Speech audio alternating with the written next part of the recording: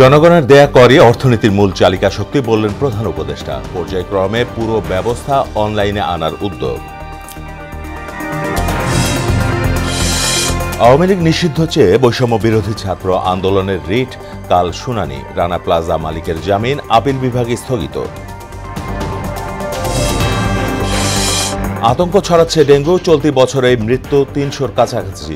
City কর্পোরেশনকে দুষছেন ভুক্তভোগীরা vaccine আনার পরামর্শ। এবং মার্কিন নির্বাচন শেষে মুহূর্তের প্রচারণায় ব্যস্ত ট্রাম্প, কমলা মুসলিম ভোটার টানতে মিসিগান রাজ্যে নানা হিসাব নিকাশ।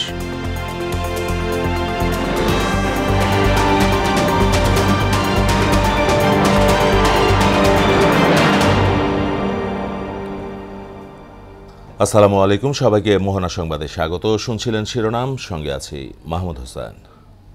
এবার বিস্তারিত। জনগণের দেয়া করই দেশের অর্থনীতির মূল চালিকা শক্তি এমন মন্তব্য করে সরকার সব ধরনের আয়কর অনলাইনে জমার উদ্যোগ নিয়েছে বলে জানালেন প্রধান উপদেষ্টা প্রফেসর মোহাম্মদ ইউনুস। এক ভিডিও বার্তায় তিনি বলেন, ঢাকা, নারায়ণগঞ্জ ও গাজীপুর মহানগরীর সরকারি কর্মকর্তা তফসিলি ব্যাংক ও বহুজাতিক কোম্পানির কর্মকর্তাদের অনলাইনে কর দেয়া বাধ্যতামূলক করা হয়েছে। পর্যায়ক্রমে পুরো ব্যবস্থাকেই অনলাইনে আনা হবে। এতে ভোগান্তি কমবে বলেও জানান প্রধান উপদেষ্টা। আরও জানাচ্ছেন কাজী পাপ্পু। অন্তর্বর্তীকালীন সরকারের প্রধান উপদেষ্টা ডক্টর মোহাম্মদ ইনুস দেশের মানুষকে উদ্দেশ্য করে বলেছেন, তাদের দেয়া করেই দেশের অর্থনীতির মূল চালিকা শক্তি। অথচ এ করের টাকা জমা দিতে নানা ঝামেলা পোহাতে হয়। এখন আর ভোগান্তি নয়। ঘরে বসে দেয়া যাবে আয়কর। ভিডিও বার্তায় ডক্টর ইউনুস বলেন, ব্যাংকের লাইন ধরে কর জমা দেওয়া বা আয়কর অফিসে গিয়ে রিটার্ন জমা দেওয়ার ঝামেলা এড়াতে অনলাইনে কর জমার ব্যবস্থা করছে সরকার। সরকারের কাছে করের টাকা জমা দিতেই পোহাতে হয় নানা ঝামেলা। এখন থেকে ব্যাংকের লাইন দিয়ে আয়কর জমা দেয়া বা আয়কর অফিসে গিয়ে রিটার্ন জমা দেওয়ার ঝামেলা করতে হবে না। আপনি ঘরে বসেই আয়কর জমা দিয়ে রিটার্ন দাখিল করবেন। এই ব্যবস্থা নেওয়া হয়েছে। ঢাকা, নারায়ণগঞ্জ ও গাজীপুর মহানগরীর সব সরকারি কর্মকর্তা কর্মচারী এবং তফসিলি ব্যাংক, মোবাইল ফোন অপারেটর ও বহুজাতিক কোম্পানির কর্মকর্তা কর্মচারীদের জন্য অনলাইনে আয়কর রিটার্ন জমা দেওয়া বাধ্যতামূলক করা হয়েছে বলেও জানান তিনি। দেশের বাকি সবাইকে অনলাইনে ই রিটার্ন ও আয়কর জমা দেওয়ার জন্য উৎসাহিত করা হচ্ছে। ক্রমে ক্রমে সকল প্রকার কর অনলাইনে সংগ্রহ করার জন্য আমরা প্রস্তুতি নিচ্ছি। এ ব্যবস্থায় বেশি আয়কর রিটার্ন জমা দেওয়া ব্যক্তি প্রতিষ্ঠানকে পুরস্কৃত করারও ঘোষণা দেন ডক্টর মোহাম্মদ ইনুস কোন প্রতিষ্ঠান কত বেশি করদাতার আয়কর রিটার্ন অনলাইনে দিচ্ছেন তার ভিত্তিতে রাষ্ট্রীয় পুরস্কার অর্জনের জন্য জেলায় জেলায় শহরে শহরে প্রতিযোগিতা হোক। কাজী পাপ্পু মোহনা সংবাদ ঢাকা। সাভারের রানা প্লাজা ধসে এক হাজার একশো চৌত্রিশ জনের মৃত্যুর ঘটনায় ভবন মালিক সোহেল রানাকে দেয়া হাইকোর্টের জামিন স্থগিত করেছেন আপিল বিভাগ। সকালে জ্যেষ্ঠ বিচারপতি আশফাকুল ইসলামের নেতৃত্বে তিন বিচারপতির বেঞ্চ এ আদেশ দেন। হত্যা মামলায় সোহেল রানার জামিন প্রশ্নে জারি করা রুল দুই মাসের মধ্যে নিষ্পত্তির নির্দেশ দিয়েছেন আপিল বিভাগ। পয়লা অক্টোবর সোহেল রানাকে ছয় মাসের জামিন দেন বিচারপতি আতাউর রহমান খান ও বিচারপতি কে এম হাফিজুল আলমের হাইকোর্ট বেঞ্চ। পরে হাইকোর্টের জামিন স্থগিত চেয়ে আবেদন করে রাষ্ট্রপক্ষ। নেপালের সঙ্গে বাংলাদেশের অর্থনৈতিক উন্নয়ন আগামীতে আরও সুদৃঢ় হবে বলে আশা জানিয়েছেন বিএনপির স্থায়ী কমিটির সদস্য আমির খসরু মাহমুদ চৌধুরী। বিএনপি চেয়ারপারসন গুলশান চেয়ারপারসনের গুলশান কার্যালয়ে দেশটির রাষ্ট্রদূতের সঙ্গে বৈঠক শেষে সাংবাদিকদের একথা বলেন তিনি। বৈঠকে দেশে আইনের শাসন প্রতিষ্ঠা সহ যাতায়াত এবং বিদ্যুৎ খাত নিয়ে আলোচনা হয়েছে বলেও জানান আমির খসরু। বাংলাদেশের সম্পর্ক বহুবিধের সম্পর্ক, অর্থনৈতিক উন্নয়নের জন্য, যাতায়াতের জন্য, যে একে অপরকে অর্থনৈতিকভাবে সেটাকে মিলিয়ে দেওয়ার জন্য আমরা স্যারকে সবাই মিলে আবার এটা সঠিক জায়গা দিয়ে যাওয়ার জন্য কাজ করব ডেঙ্গুতে বেড়েই চলেছে মৃত্যু, ভয়াবহতার পরও ধ্বংস করা যাচ্ছে না এডিস মশার প্রজনন ক্ষেত্র। এজন্য স্থানীয় সরকার প্রতিষ্ঠানগুলোর গাফিলতিকে দায়ী করছেন ভুক্তভোগীরা। তবে চিকিৎসকরা বললেন, একক প্রতিষ্ঠানের পক্ষে ডেঙ্গু নিয়ন্ত্রণ সম্ভব না। দরকার সমন্বিত উদ্যোগ। ভ্যাকসিনের প্রয়োজনীয়তার কথাও উল্লেখ করেন চিকিৎসকরা। উষা ফেরদৌসের রিপোর্ট। কিছুতেই নিয়ন্ত্রণ করা যাচ্ছে না মশার প্রজনন ক্ষেত্র। মশা মারার কাজে দায়িত্বরত সিটি কর্পোরেশন ও পৌরসভায় এই মুহূর্তে নেই নির্বাচিত প্রতিনিধি। অবহেলার কারণে মশার প্রজনন ক্ষেত্রের পাশাপাশি তাদের টিকে থাকার ক্ষমতাও বাড়ছে। এতে দেশ জুড়ে ভয়াবহ রূপ নিচ্ছে ডেঙ্গু বাড়ছে মৃত্যুও। চলতি বছরে মৃত্যু তিনশোর কাছাকাছি। আক্রান্তদের সবারই অভিযোগ সিটি কর্পোরেশনের ভূমিকা নিয়ে। বর্তমানে ওই এলাকায় আরও চার পাঁচটা বাচ্চার ডেঙ্গু হয়েছে খিলক্ষেত। খিলক্ষেত নয়নগর আদর্শ গ্যারেজ ওইখানে আমাদের বাসার আশেপাশে আরও আরও ডেঙ্গু হয়েছে। বাচ্চারা ব্যালকনিতে বসে থাকলে মানে ওই বাইরের ওই মশাগুলো ব্যালকনিতে আইসা বাসার মধ্যে পরিষ্কার কিন্তু বাসার বাইরে অপরিষ্কার। আগে তো ওষুধ টষুধ দিতে এখন তো কেউ তো দেয় না। নতুন সরকার আসার পরে আর দেখিনি। ময়লা আবর্জনা ফেলায় চিপচাপে অনেক মশা হয়। সিটি কর্পোরেশন আছে সিটি কর্পোরেশন কোনো ওষুধ দেয় না। এই সমস্যা এটা হয়েছে যে বেশি। ডেঙ্গুতে মৃত্যু রেকর্ডের দিক থেকে বাংলাদেশ অন্যতম। এডিস নিয়ন্ত্রণে প্রয়োজন সম্মিলিত প্রচেষ্টা। সরকারের পাশাপাশি যদি নিজেরা সচেতন না হয় তাহলে ডেঙ্গুকে আসলে সমূলে উৎপাদন করা সম্ভব না। আপনার বাসা বাড়ির আশপাশে আপনার নিজেরাই পরিষ্কার রাখবেন। মশা নিরোধক যে সমস্ত তেল আছে বা ক্রিম আছে এগুলো বাচ্চাদের ক্ষেত্রে ব্যবহার করবেন। সেক্ষেত্রে হয়তো ডেঙ্গুকে অনেকটাই নিয়ন্ত্রণে আনা সম্ভব। চিকিৎসকরা বলছেন ডেঙ্গু নিয়ন্ত্রণে ভ্যাকসিনও গুরুত্বপূর্ণ ভূমিকা রাখতে পারে। ডেঙ্গুর ক্ষেত্রে আমাদের ভ্যাকসিনেশনটা খুব গুরুত্বপূর্ণ।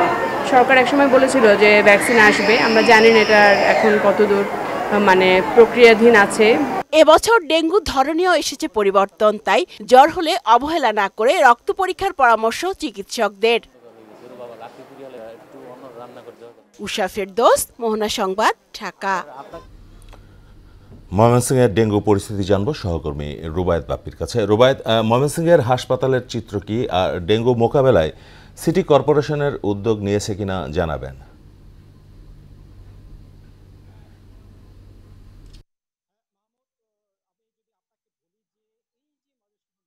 কলেজ হাসপাতাল এই হাসপাতালে কিন্তু এবং চিকিৎসা নিয়ে আবার বাড়ি ফিরে যাচ্ছেন।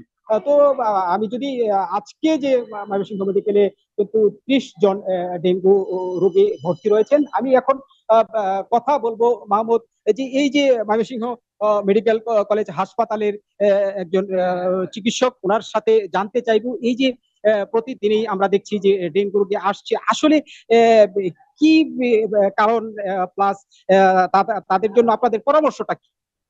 আচ্ছা। ধন্যবাদ। বর্তমানে আমাদের মেডিকেল কলেজ হাসপাতালে ডেঙ্গু ওয়ার্ডে ত্রিশ জন রোগী ভর্তি আছে। আর এর মধ্যে যেহেতু থেমে থেমে বৃষ্টি হচ্ছে, জ্বরের পাশাপাশি আমরা সবচেয়ে বেশি যে উপসর্গগুলো দেখছি, সেগুলো হচ্ছে আপনার জিআই সিমটম যেমন তীব্র পেটে ব্যথা, বমি, ডায়রিয়া খাবারের অরুচি, এই সমস্যাগুলো নিয়ে বেশি আসতেছে। আর এই সমস্যা থেকে যদি আমরা সহসায় উত্তরণ চাই, জনসচেতনতার আসলে কোনো বিকল্প নেই। আমরা যখন ঘুমাবো, রাতে অবশ্যই মশারি ব্যবহার করব। এবং বাড়ির আশেপাশ অবশ্যই পরিচ্ছন্ন রাখতে হবে। বিশেষ করে আশেপাশে যদি কোনো জমানো পানি থাকে সেটা তিন দিন পর পর অবশ্যই ফেলে দিতে হবে এবং পরিষ্কার পরিচ্ছন্নতার আর কোনো বিকল্প নেই। এবং জ্বর হলে কোনো বিলম্ব না করে নিকটস্থ এমবিবিএস চিকিৎসকের পরামর্শ অনুযায়ী চলতে হবে।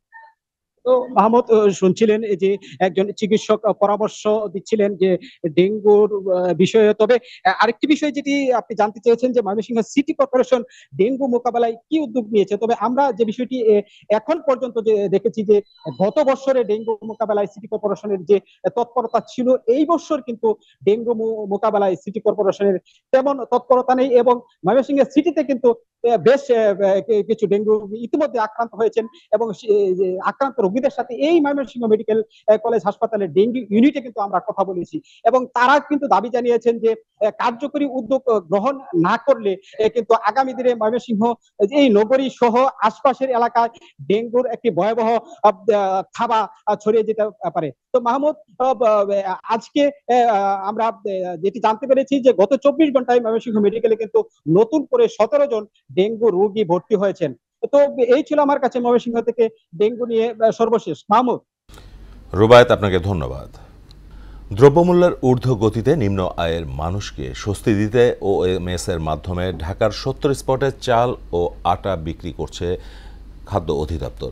প্রতিটি ট্রাকের সামনে ভোক্তাদের দীর্ঘ লাইন। ও এমএস এর তিরিশ টাকা দরে পাঁচ কেজি চাল ও চব্বিশ টাকা দরে পাঁচ কেজি খোলা আটা দেয়া হচ্ছে। চাহিদার তুলনায় যোগান ঘাটতির কথা জানান ভোক্তারা। মনিরুল ইসলামের রিপোর্ট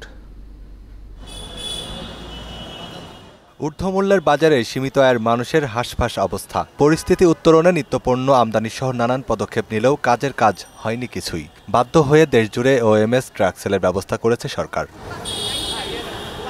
চাল আর আটা সজ্জিতে ছোট পিকআপের সামনে দীর্ঘ সারি। বিক্রি হচ্ছে তিরিশ টাকা কেজিতে চাল আর আটা চব্বিশ টাকায়। মিরপুর এগারোর এই কেন্দ্রে মোট বরাদ্দ এক হাজার কেজি চাল আর দুইশো কেজি আটা। দুইশো জনের বরাদ্দ থাকলেও মানুষ রয়েছে তিনশোর উপরে। চাল হলো যে আপনার পাঁচ কেজি আটা হলো চার কেজি। চার কেজি হলো একশো দশ টাকা আর চাল হলো পাঁচ কেজি একশো পঞ্চাশ টাকা মোট দুশো ষাট টাকা। আটা চালের বরাদ্দ বাড়ালে একটু ভালো হয়। এই যে কিছু লোক যারা যারা আগে আসছে তারা অবশ্যই চাল পাবে আগে।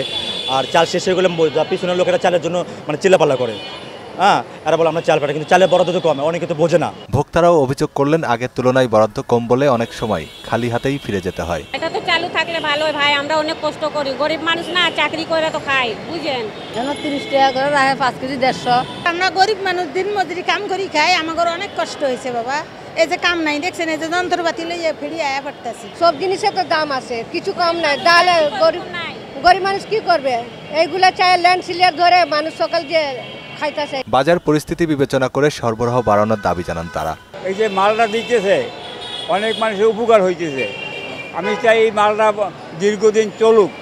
যদি দেশের অবস্থা ভালো হয়ে যায় তখনই মালটা উল্টো করে দেব। চার কেজি পাইতেছি একশো দশ টাকায় আটা।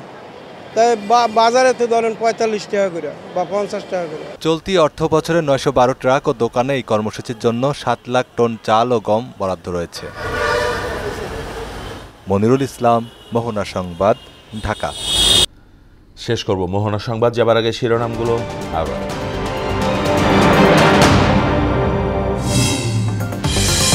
জনগণের দেয়া করে অর্থনীতির মূল চালিকা শক্তি বললেন প্রধান উপদেষ্টা। পর্যায়ক্রমে পুরো ব্যবস্থা অনলাইনে আনার উদ্যোগ। আওয়ামী লীগ নিষিদ্ধ চেয়ে বৈষম্য বিরোধী ছাত্র আন্দোলনের রিট কাল শুনানি। রানা প্লাজা মালিকের জামিন আপিল বিভাগে স্থগিত।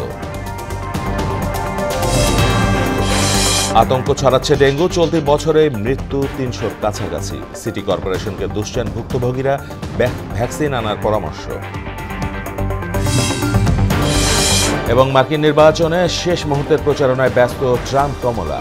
মুসলিম ভোটার টানতে মিশিগান রাজ্যে নানা হিসাব নিকাশ।